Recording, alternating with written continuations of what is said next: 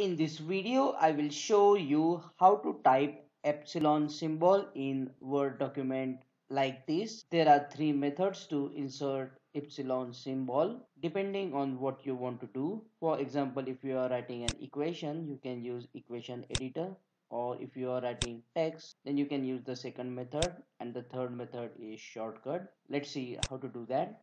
In the first method, you can go to the insert option then click on equation here and you will see here at the bottom insert new equation. Click on it and then equation editor will be inserted.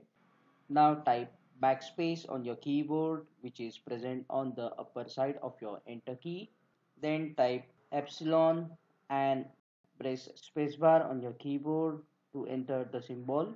Alternatively you can also go here scroll down a little from this menu click on this option more to open the menu and you can click on this epsilon symbol to insert it. It looks little different. Now if you are writing text then go to the insert option click on symbol and this time click on more symbols to open this symbols dashboard. Now under the fonts option here select normal text and under the subset scroll down a little and you will see this option Greek and Coptic select it. Now you will see this menu scroll down a little again and here is the epsilon sign click on it and then click insert to insert the symbol.